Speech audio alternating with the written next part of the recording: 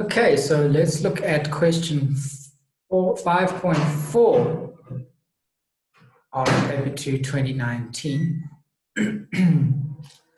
so they say consider f of x equals sine x plus 25 cos 15 minus cos x plus, uh, 25 sine 15. So this here looks a lot like that part, sine cos A. So we're, so basically the x plus 25 is going to be the A, the A bit.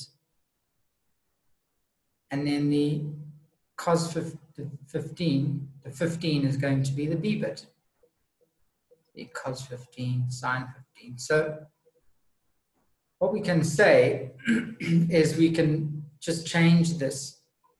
So we can say I'm going to keep it in red so we can keep track. So f of x is therefore equal to sine, and it's going to be x plus 25 is our a, minus our 15. And so now we know that f of x is equal to sine x plus 10. Okay, five point, they want to know the general solution of f of x. If f of x equals tan 165. Okay, so we know f of x is this. So we can say then that sine x plus 10 is equal to, so now I'm going to just put that in green, just so that we can keep track, 165 because we see that f of x is that. So if f of x is equal to tan 165, then f of x, uh, this is tan 165, sorry. Tan 165. Okay, well, we know tan 165 is a number. So what we can do is we can check out our CAST diagram. And tan is going to be tan 165 So let's work out the tan 165 bits. Tan 165 is equal to tan 180 minus 15, right? Because 180 minus 15 is 165, and that's our 180 minus theta quadrant. So we know that the tan value is negative. So we can put tan 15 in our calculator, right? So it's going to be therefore equal to minus tan, 15.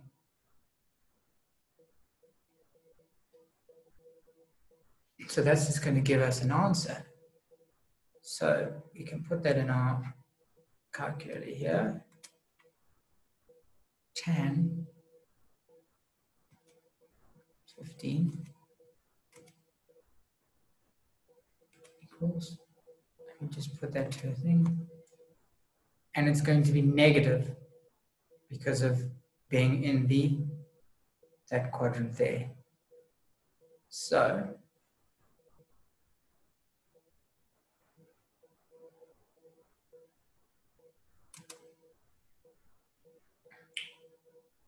negative 0 comma two six seven and we'll just do three decimal places.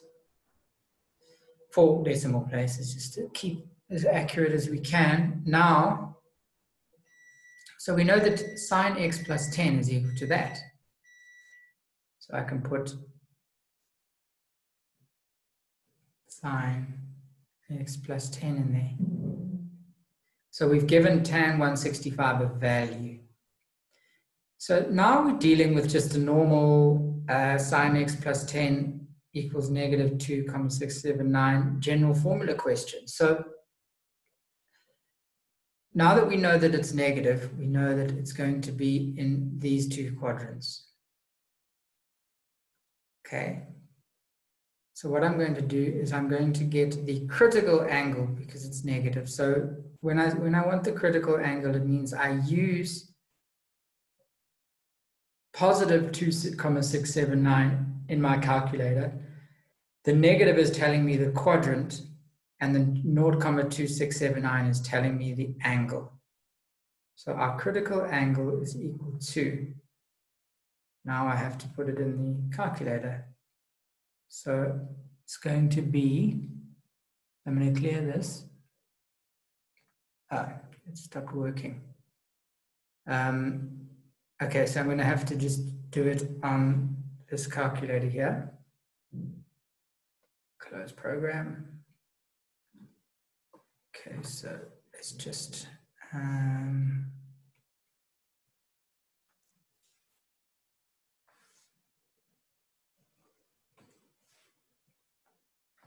let's just block that up.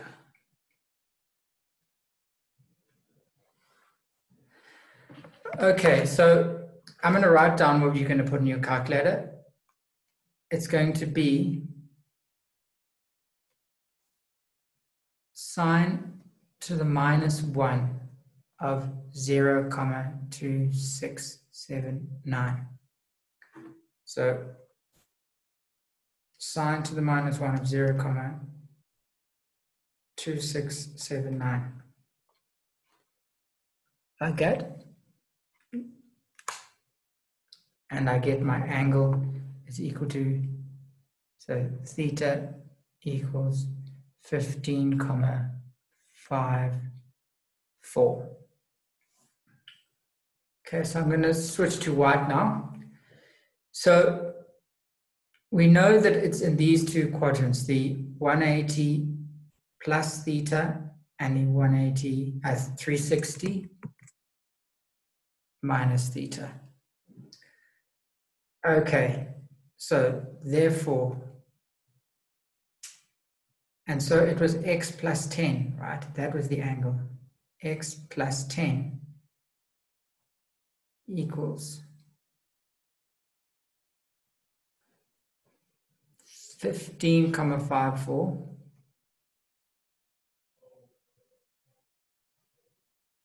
so it's a 180 plus quadrant so that'll be 180 plus 15 comma 5 4 plus k 360 and x plus 10 or x plus 10 is equal to, and in the quadrant 360 minus 15 plus k 360.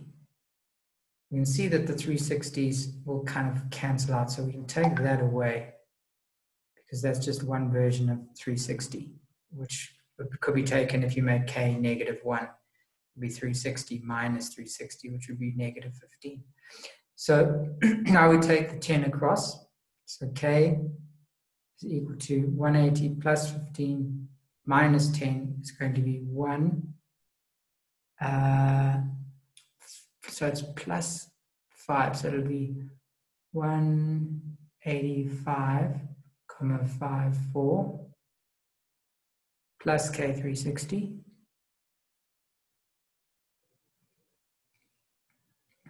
or x is equal to um, so negative 15 minus 10 is going to be minus 25 comma 5 4 degrees plus k360 okay this is 195 yeah um, so that's your general solution here and here. Now 5.4.2 says determine the values where it's going to be a, a minimum.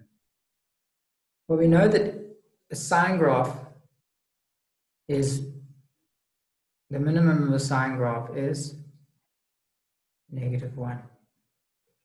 So all we do is we can just make that equal to negative 1.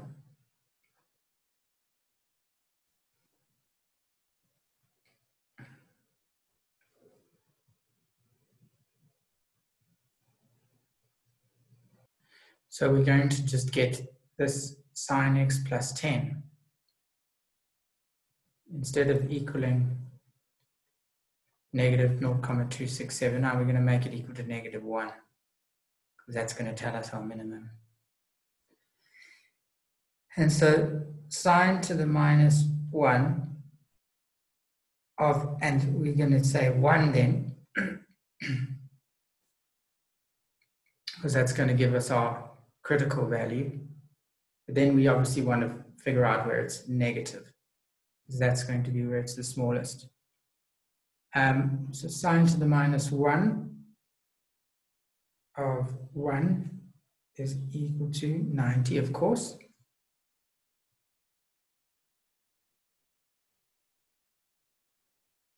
And it's negative over here.